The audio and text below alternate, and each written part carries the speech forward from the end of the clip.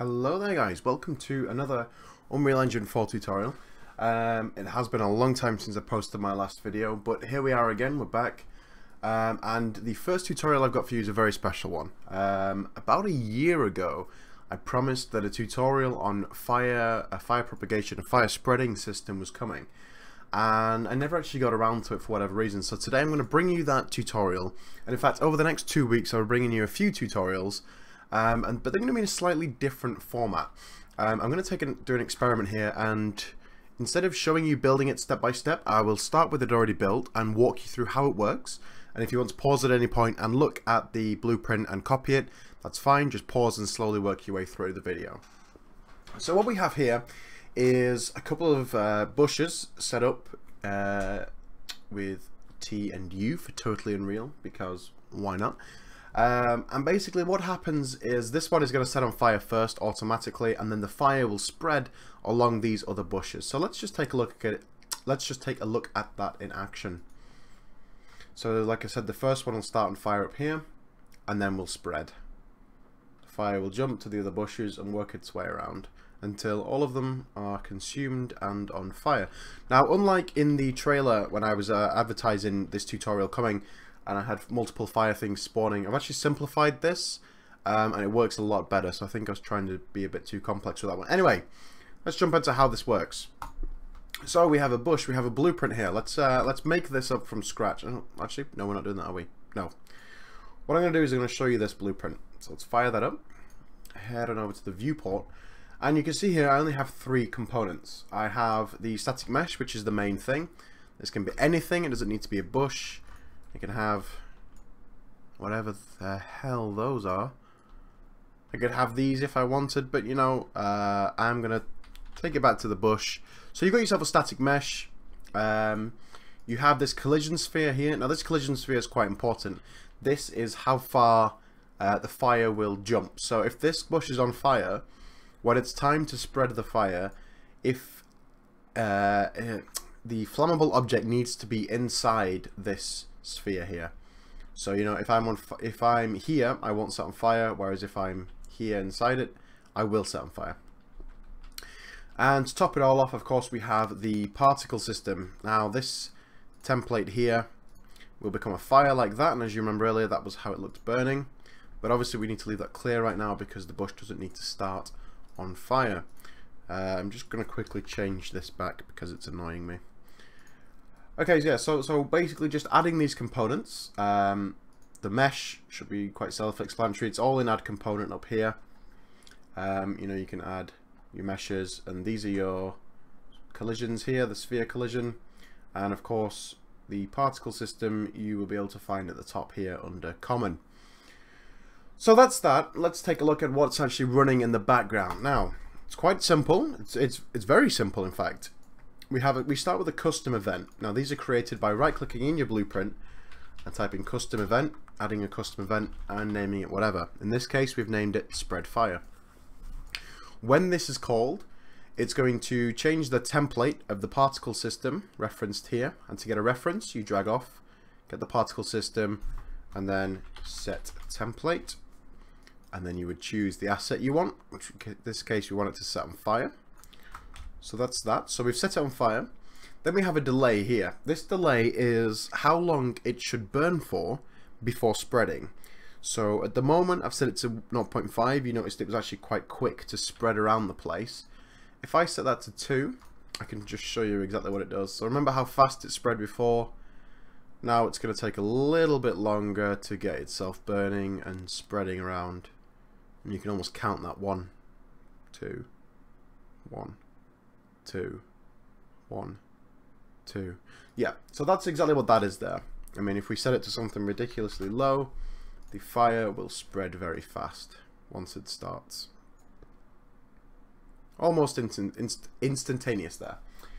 So that's what that does. That's that's what we control with that. Um, so once we've once we've done that, and now this is how we actually spread the fire to other nearby flammable objects. We have a for each loop and a for each loop takes an array. In this case, the array we're going to provide is the one provided by the node get overlapping actors. So we want to see what is overlapping us. So we leave this as a reference to self. And the other classes we want to look for are, I know it's named Fire Cube, it should have been named Fire Bush. It started out life as a bush, as a cube, sorry. So that's that's this class, the class that we're in now.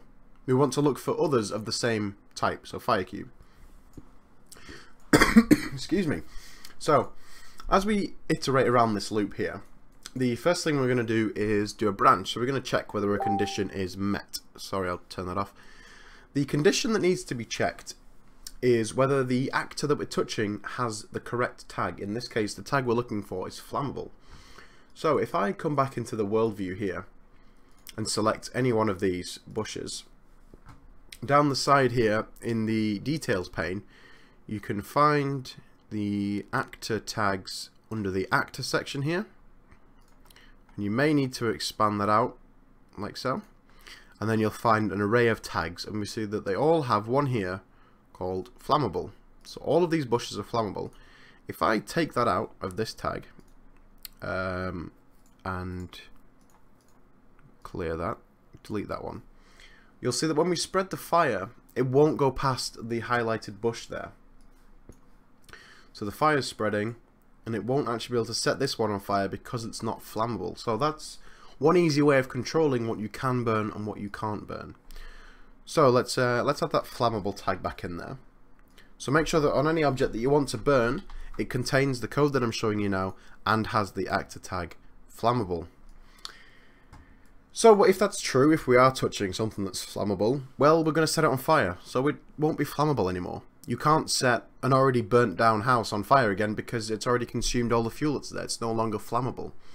So we're going to get a reference to our self, which you can do by right-clicking and just typing self, get a reference to that.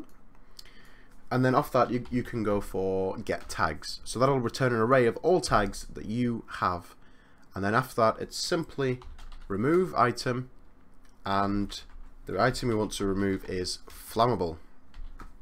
There we go. So I'll remove that now. So once we've removed that, the fire cube that we are currently, uh, the, the, the, sorry about this, it's quite hard to explain. The actor that we have just taken the tag off, we also want to cast to him and say, okay, it's your turn to do something, I'm calling to you, it's your turn to spread fire.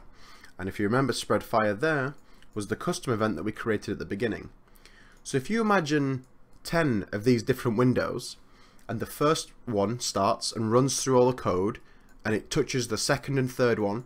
Then the second and third one run through this code at the same time and they touch the fourth fifth sixth and seventh one and then the, all of those burn and run at the same time. In fact I can set up a quite a quick demonstration of just how this works here. So these are all the same object. So I will start with one he'll set on fire. And then because those rings there are overlapping those two will set on fire and then when those two set on fire, I can have more set on fire. As long as the rings overlap, that that's what um, that's something that has to be there to allow the jump to be made.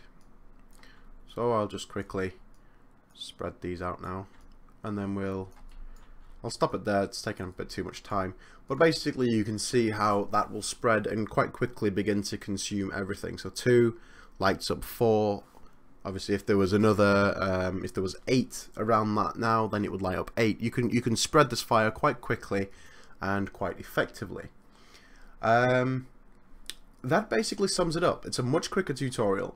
It doesn't delve into as much detail. If I would like some feedback in the comments, if you like this style of tutorial, if you like just looking over what exists, being able to pause the video and um, and copy it, then by all means let me know and I'll carry on.